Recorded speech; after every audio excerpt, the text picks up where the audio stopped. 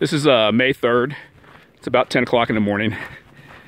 Uh, I started hiking this morning. I think it was around 7 o'clock. And uh, I'm planning on doing probably 20 miles a day. I haven't really decided for sure. Uh, yesterday I did 26 miles. So I think I kind of went back off a little bit off that. Uh, although my, my left knee had been bothering me, but uh, yesterday after 26 miles, it really felt fine. I do have a blister on my right little toe that's a little sore, but not too bad. And I don't know if you can see or not, but uh, right, right in the middle there, there's a uh, mountain that's got a lot of white on top, so I'm sure that's snow. And so I'm sure uh, I'll be seeing snow probably in the next three or four weeks, probably, somewhere thereabouts.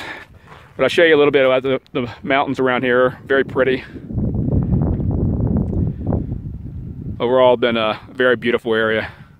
Talk to you later.